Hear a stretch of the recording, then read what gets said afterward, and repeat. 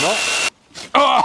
We are going to do a giveaway. So in a previous video, we compared battery handheld chainsaws and what was on the market at the time. And in that video, we only had three products. We had the Milwaukee M12. We did. The GTA 26, which we've got again, and also the cheapest product we could find on Amazon, which is the 36 quid. Mm. You gave it a bit of a hard time, to be quite honest, because I understand some of the comments. And I mean, there's been a lot of comments on that video saying that, oh, the, you know, the small one was okay for just small jobs, which, yeah, okay, fair enough, it probably was. But now, we have brought you a full-on lineup of new products to the market, current products from brands you know, brands you don't, and we're well Bigger excited. and better. Definitely bigger and better. So brands we've got to test today are from Stihl, Husqvarna, Makita, Palenlenk, Pelenk.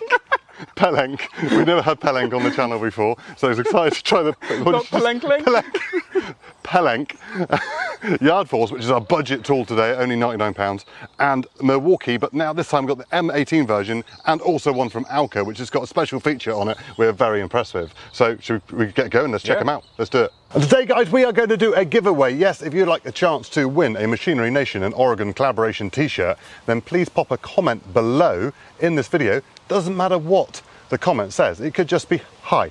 Or if you want to go to town, or low. Or low, high or low, or leave us an essay. It's absolutely fine. But for your chance to win an Oregon and Machinery Nation collaboration t-shirt, pop a comment below and then we'll let you know in our community tab. We'll not put it in the comments, we'll not give you any links, we'll let you know in our community tab who the winner is. Tested by Machinery Nation. From Yard Force, we have the LSC13. It's 20 volt, has a 12 centimetre bar and chain, comes with a 2 amp hour battery and charger, and costs £99.99. pence. From Husqvarna, we have the Aspire P5 dash P4A. It's 18 volt, has a 12 centimeter bar and chain, comes with a Bosch 2.5 battery and charger, and costs 164.99. From AL-KO, we have the CSM 1815. It's 18 volt, has a 15 centimetre bar and chain, integral oil tank, comes with a Bosch compatible 2.5 amp hour battery, charger, and carry case, and costs £169. From Stihl, we have the GTA 26. It's 11 volt, has a 10 centimeter bar and chain, comes with a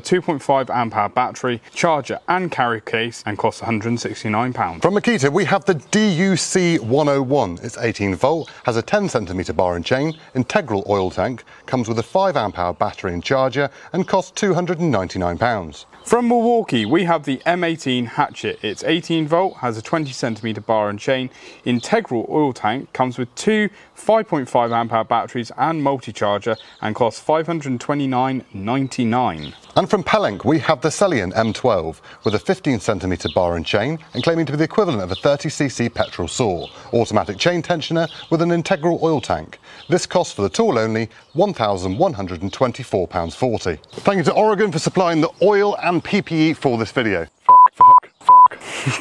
That right up, didn't I? So that's the main differences between the seven saws, and we've got three in this pile and four in that pile. The difference being that these four have integral oil tanks, whereas these three, you have to manually put the oil on prior to sawing and during. So for these, you've actually got a separate oil tank, so you can put the oil in and it'll pump it through. With the addition of the AL-KO, which has actually got a priming bulb on the side of it, so you can actually prime the oil through yourself to pump it onto the chain. Right, so first cutting test, we've got a nice three inch by three inch piece of softwood, which Josh is modelling extremely well. And I'm going to do a timed cut with a Oregon handsaw to see how fast that is. And then Josh is going to do a one cut each with every single one of the small mini chainsaws to see which one's quickest. Cool. Well, let's, do, it. Let's go. Ready, steady, go!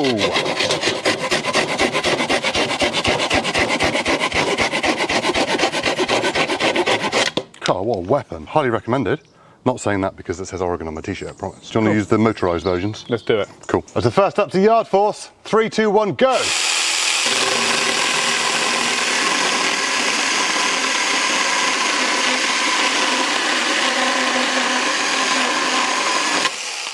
And there we have it. Lube them up. So Husqvarna up next. I did do a video on the full Aspire range earlier in the year, so definitely check that out. Three, two, one, go!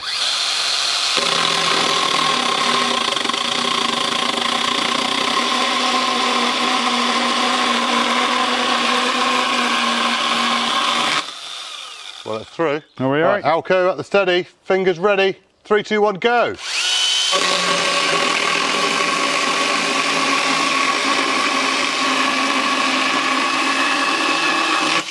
That was impressive. That's right. Yeah. That went through right, right, didn't it? Very good. I reckon Stihl were the first people to bring one of these out, weren't they? I think they were, yeah. And it's the original one. Mm. Mm, let's see how good it is against the others then. Three, two, one, go!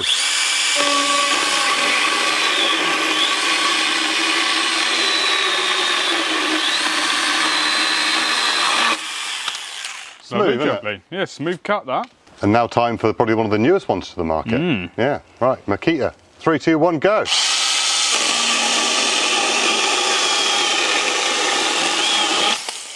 There's some torque there. That was impressive. There is some torque there. Slightly bigger chain on that one as well, by looks it. Now, now for Milwaukee. We've done the M12. This is the M18. Let's see how it goes. Three, two, one, go.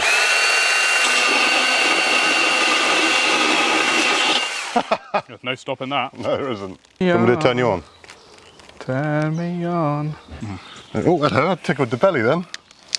Oh, Hang on. As Josh would say, it's a palalalank.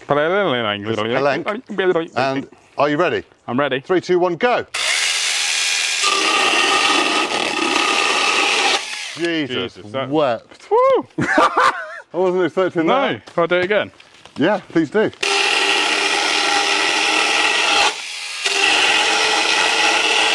Jesus. Yeah, that is. Yeah, that's nice. That is That talky. Woo. That talks more than you. It does. oh, look at him.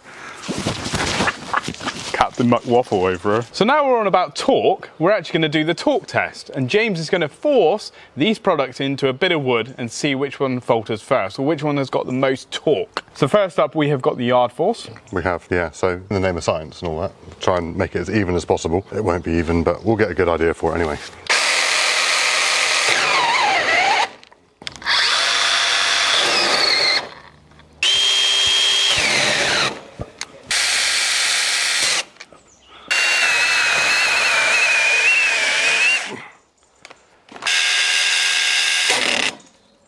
So for the sake of science, that's actually quite interesting, actually, hmm. because although the Palank, when Josh done the cutting, that seemed like it had masses of Massive torque, torque. it hasn't actually gone in that far. So we thought we might just grab a ruler and see, you know, as, as I had it, I just pushed down exactly the same force in, I say exactly, the same force on both, just pushed it into the timber to see how far it cut.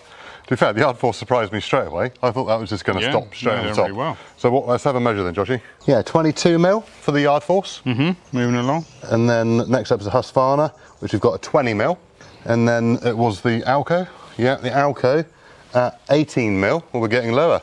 Mm-hmm. And then we've got Stihl the, the Stihl, which is probably 6 mil. So that's quite low. But that is the smallest, It's the smallest capacity smallest battery. capacity. Smallest, smallest battery and smallest voltage as well.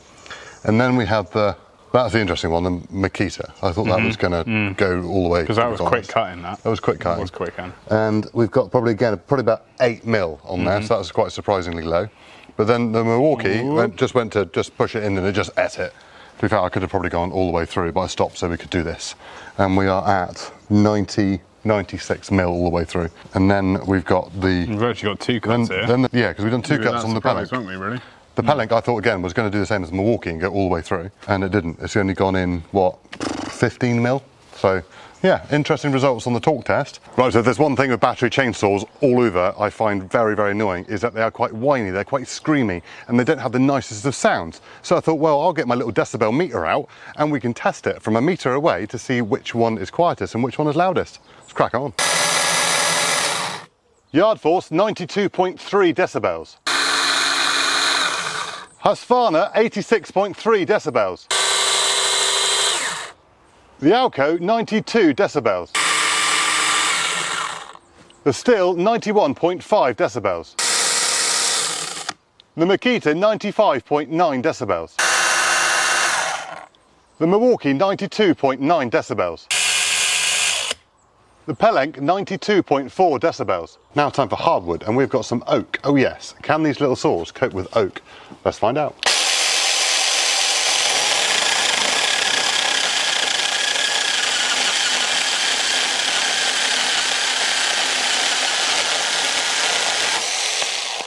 It's much easier to lube with two of you.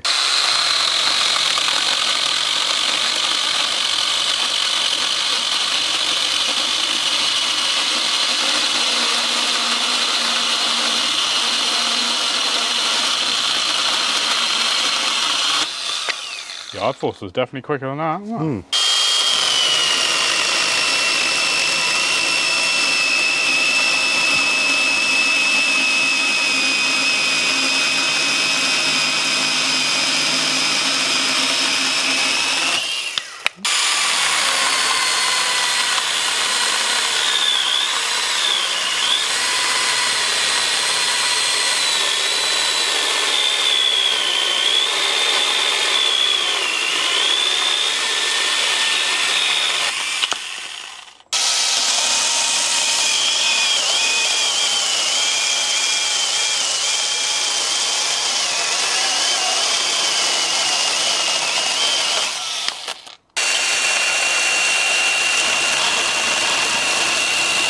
knot.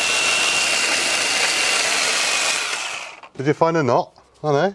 Don't know. Didn't seem like it was running as fast. It slowed right down, didn't it?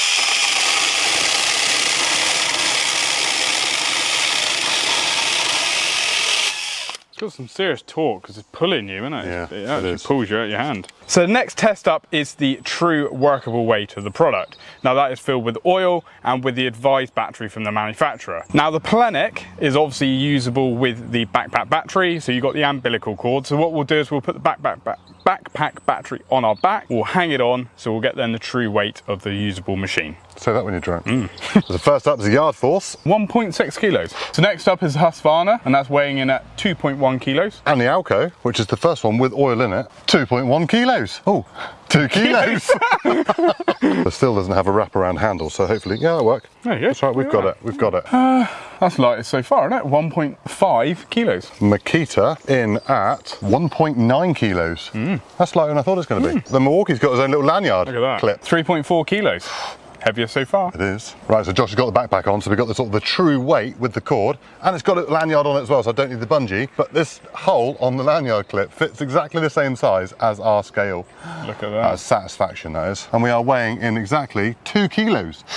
Ooh, huh, respectable. Right, next test. So the one big issue with battery products is how long do they last? And that is always a big question when asked by customers. Now in this test, we've got a slab of oak and we're gonna run through each product and see how long they last. Now, this isn't about how many cuts we can make out of it, just literally how long they can run. And being an oak, hopefully, theoretically, they're not going to last as long as they No. would if you're cutting softwood. No. But it's a good test to see which one lasts longer than the other mm-hmm. one, really. So that's what we're aiming at. But the Pellenc is a little bit different because there is a massive backpack battery on that. And to be quite honest, I think the run time is like 10 days. it's not, but it's a lot of hours. And so we're not going to keep cutting with it until then because you can get the battery holster so you can clip a battery onto your side of the Pellenc and still have the umbilical cord to it instead of having the backpack. So some slightly, lots of different variants on the Pellenc you can go for, but that's for you to research for yourself. We're just here to show you how well it can work. One Yard Force, one Husqvarna, one each end. See how we go on. So all batteries have been charged back up again and the safety things have been taken off the Yard Force and we've changed the carving bar on the Pellenc just so that we can go straight through the timber. The other saws shouldn't be a problem. So then we haven't got any restriction on how deep we're going.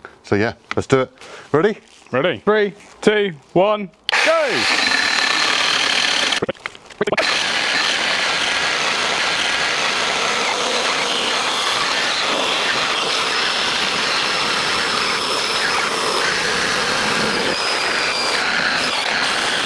That's it. Yard Force is done. He's Done, he is. Right, AL-KO.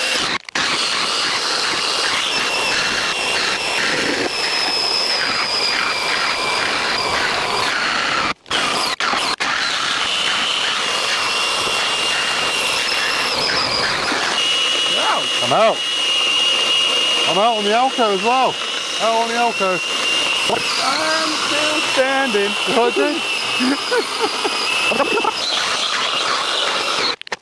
out, I'm out.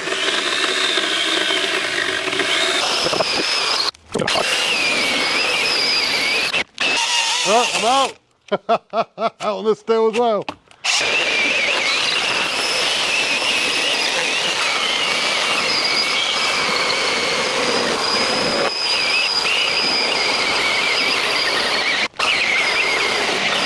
Oh. Done? You done?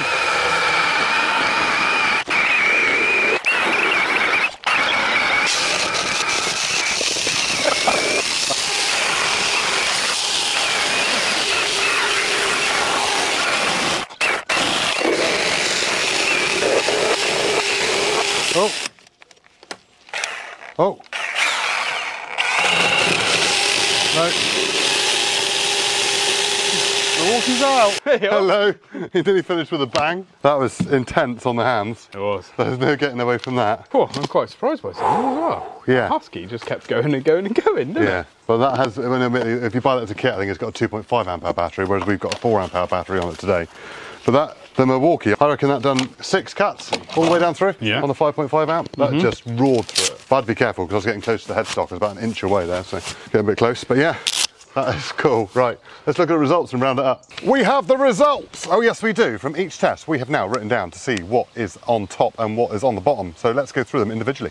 So first up, we've got the decibel rating, and the Makita is actually the loudest at 95.9 decibels. And we've got the Husqvarna at 86.3 decibels, making it the quietest. So the weights, and not surprisingly, the Stihl being the smallest item, comes in at 1.5 kilograms, being the lightest in the range. And the heaviest is the Milwaukee, coming in at 3.4 kilos. It is a beast though, and it's got the power. Oh yeah. Right, so the most amazing news is that I am faster with a handsaw than four of these tools. How surprising is that? But then I don't think I'd keep that up over a number of cuts, so that's the difference, that's where it comes in. But Josh has the result. The Plenec in softwood is 2.16 seconds. Pew, pew, pew, pew. Whereas the Husqvarna is 9.22 seconds, making it the slowest. And I've kept hold of the Plenec because it's also fastest in hardwood, coming in at 5.21 seconds. Whereas the Stihl was the slowest at 15.18 seconds. So battery run times, yes, the most asked question of them all. How long will they last on one battery? And well, there's so many different ways you could test this and so many inaccurate ways you could test it. I don't think there's one perfect way of testing that because everyone's different, everyone pushes harder, everyone's cutting something different. So we used the hardest thing you could possibly do by cutting oak with one of these mini chainsaws, which probably isn't the best thing. And it was thicker than the bars most of the time. So yeah, we just had to do it as quickly as possible. And I think that worked. Mm-hmm. You know, we, it was about 22 minutes of cutting in total of all the saws, so they're thereabouts. And it was a Stihl that used its battery the quickest at 2 minutes 12 seconds. But if you imagine cutting branches or small sticks or pruning for 2 minutes 12 seconds, that's a lot of sticks. It isn't is. It, It is a lot of sticks. Yeah. But the Husqvarna actually lasted the longest. It did. And it was 16 minutes and 8 seconds. Yeah. Now that is really impressive. But it is worth noting that it has got the 4 amp hour battery in it, opposed to the 2.5 that, Mm-hmm. Which is advertised. which is advertised with it. Yeah. The 2.5 is actually fitted in the AL-KO. The AL-KO and the Husqvarna work on the Bosch battery platform, which is the Power for All Alliance. I can now take the AL-KO battery and put it in. there we go. So that's the AL-KO battery in Husqvarna, and vice versa. I can put the Husqvarna battery into the AL-KO, and there we go. So both still work, and obviously the range then is huge, Huge. isn't it? Yeah, because you can utilise tools from every manufacturer that are within this range. It is all the ba- Bosch batteries, as James says. So it'll give you access to hundreds and hundreds of products. But obviously the Pellenc Yeah, dark is- horse in the room, really. Dark horse because that because having a backpack battery or even the hip battery that you can get, which we haven't got here today, it lasts. What did I say? Ten days. Well, within the couple of minutes that we were using it, we used 1% battery. it did, it went down to So we would have been there for hours and hours cutting, cutting and cutting. So Yeah. it is very hard to gauge that. But if you're a professional user using it all day long, I should imagine you've probably got a day's worth of work in that, Yeah, if not more. Yeah. So the Yard Force, the more budget one that we've got here today, Mm-hmm. and it's yeah, not quite as budget as the one that was in the previous video. Yeah. But I think it's got its definite use. You know, for a domestic user just wanting to do some light pruning, I think it'd be Feels well built, doesn't it? It does. It's, Yeah. it's, it's all there. I, I don't know what other products you can put on that battery range. It doesn't have an oil tank. But one thing I did notice when we're doing the long cuts, the heat that was coming off there was Mm. it was the I could feel it through my chainsaw gloves. It was hot. So longevity would be the questionable bit.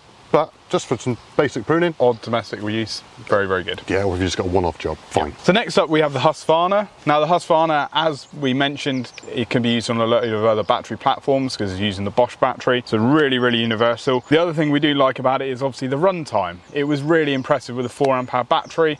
Obviously still coupled up with the 2.5, you're still going to get about half that sort of runtime anyway. So you're going to be talking about eight minutes. So really, really good. Everyone knows Husqvarna brand. They've got a load of other range of tools in this battery platform as well. Which is called Aspire. Yeah. And although it wasn't the fastest in the cuts as the others, you've got the battery runtime. Yeah. So it's sort of a way up between the two. And to be honest, the amount of use we did give it, it didn't get that warm. I mean, it did get warm, mm-hmm. but not like the Yard Force. But yeah, good all round. Solid bit of kit. Solid bit of kit. Now, the AL-KO is probably the one I'm most surprised about because it's the, the price tag of the Stihl and the Husqvarna, very, very similar prices, but this one has the oil priming bulb. Mm-hmm. So you can actually oil your chain without having to do it manually. Now, I think that's a big, big game changer. Definitely. I think it is for the similar sort of price, and you're running on the Bosch platform, Mm-hmm. so you've got that advantage to be able to use it in lots of other products. You've got the battery charge indicator on the side, you've got the oil tank, you've got easy chain tensioner, it's got a decent sized bar on it Yeah. as well. And Yeah. yeah, I quite pleasantly surprised with the whole tool. So, the Stihl GTA 26. Now, we did review this in our last video and it did come out really, really well. And it is a nice, ergonomic, very easy to use product. You can use it with one hand, whereas the other ones we did feel that some of the times you did want to use it two-handed just mm-hmm. for the control, but this one is really, really nice. So these were the first guys to bring out a handheld pruner, and they did a great job. Running obviously only the 10.8 volt battery, so it's a small mm-hmm. capacity battery, which is the smallest in the whole range, but it did perform really, really well, Mm-hmm. and it is obviously used for domestic use. But if perhaps they did bring out something with a bigger battery, AK range, Yeah. yeah, it would probably be then up around the realms of your Makita and your Milwaukee and power and longevity. But I hope they don't lose that from the range because No. I would say that is the most comfortable one to use out of all the ones we've used today. It's just nice, it's a nice size, it's easy to use. Yes, it hasn't got the battery runtime. Mm-hmm. Yes, it doesn't have the speed, but for a comfort small tool, amazing. Yeah, and they have obviously got other tools that run this battery as well. All in all, nice. Right, Makita, and it's the first one with an automatic oiler. Mm-hmm. So obviously the AL-KO has the priming pump, but this one has an automatic oiler, so it just oils the chain automatically. You haven't got to think about doing that. And obviously Makita's battery range on that 18 volt system is huge. Mm-hmm. The, the possibilities are endless with what other tools you can do on it. And it's probably one of the newest ones to the market that we've got here today. And uh, yeah, it cuts well. Does. It's got a reasonably good battery runtime. And you can obviously, Makita have got lots of different sizes of batteries as well. So Yeah, yeah, and I, think like it. being that it's Makita as well, obviously if you're a carpenter or someone like that, that is perhaps doing little joints and you want to just trim off, you know, edges of planks and stuff like that, that's, You want to use it, that for carpentry? yeah, crack on. you see my I, woodwork skills. I was thinking of do some dovetail joints with that. Yeah, right. So next up we got the Milwaukee, and it is the heaviest at the range, but it is probably one of the most powerful, and it does give you some grunt. There's no getting away from that. Getting a bit like the Makita, you've got an endless amount of tools that you can fit this battery on. This is the 5.5 high amp hour battery, so it gives you that bit of extra grunt, doesn't it? And in the kit, you get two of them. Yeah, it is quite pricey, so it's probably not for your normal domestic use, but for pro use or high end domestic country estates, that sort of stuff, Mm-hmm. perfect tool for the job. This is designed really to be used two handed as well, Well, so it is yeah. definitely the one we're, we're sort of saying you have got to put a little bit more force down when you're cutting the bigger stuff as well. You've obviously got the automatic chain lubrication on that one, like the Makita as well. Got the bigger guide bar, and it's worth noting these ones have the bigger gauge chain as well. So if you are cutting wood that's slightly rougher, it is going to be uh, have more longevity, should we Longevity, say, on the yeah. chain. Yeah, so if you hit anything, you're not going to have to sharpen it quite so often. But Mm-hmm. all in all, fantastic product. Really, really nice. They brought out an M18 range opposed to the M12. Which for the lighter, more domestic user, Yeah. the M12 is probably the one to go for. It really, be, we know yeah. that's got an awful lot of power Awful itself. lot of power. So to put tho- that one up against the M12, I'd say they're definitely two different tools. Mm-hmm. That is just more for heavier duty users, whereas the M12 is for more lighter duty Yeah. users. Definitely. So the Pellenc, or as Josh wants to call it, a. The length and length and length. But no, that is an absolute weapon, It isn't is, it? it is. That is that surprised me. You might have saw my face in the video when Josh took that one cut down through, and it done it in what 2.12 seconds, like three or four seconds quicker Mm. than any of the others.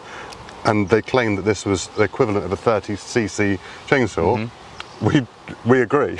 and, it, and it's actually when you put it in the wood, you can actually feel the power because it's pulling it, pulling you in. pulling you in as like well. you would on like a 60cc chainsaw. When Yeah. you put that into wood, you feel it. You sort of your body pulls forward. That's got the same feel to it as compared the, to the rest. the only surprising thing I would say with that is that when we put it in the torque test, that was actually very surprising that it didn't actually cut down very far, did it? Yeah, no, that- But that's I not suppose very 'cause scientific, is it? No, but It's I initial torque, it could be isn't a it? yeah, it could be an overload Yeah, that's- on there as it well. could well be, yeah. You know, but as you know, anything that is going to pretty much go through anything you put in front of It it. is, and obviously with the other battery options, bigger backpack batteries and things like that, you've got the possibilities are endless with it. But yeah, if I was going out pruning apple trees or something, I was going to do a lot of pruning in a, in a day.